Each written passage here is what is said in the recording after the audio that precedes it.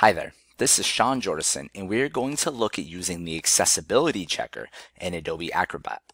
The Accessibility Checker provides an accessibility assessment and helps you determine how easily people with disabilities can access your PDF. The Accessibility Checker helps to determine the presence of the following.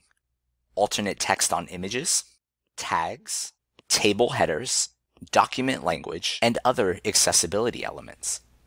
It is possible to choose which kinds of accessibility issues to look for in the full check. There are also options to view and save the results. To run the accessibility checker, follow these steps.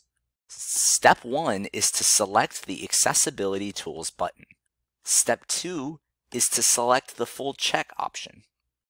Step 3 is to select all pages, choose Document Category, and select Start Checking.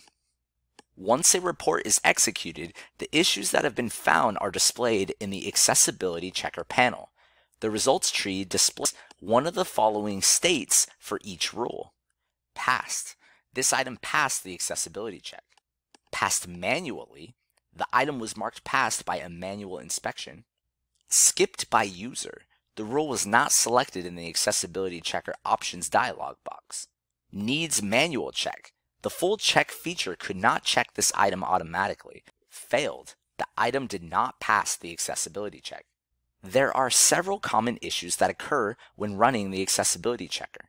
Two points that are always flagged for manual checking is the logical reading order and color contrast. These two items will always be defaulted to manual check, and even after passing them, they will show up once the document is reopened. Fixing items in the accessibility checker. Some items can be fixed by simply right-clicking the error and choosing the option Fix. For items that cannot be fixed this way, use the Tags manual or the Reading Order tool to make additional changes.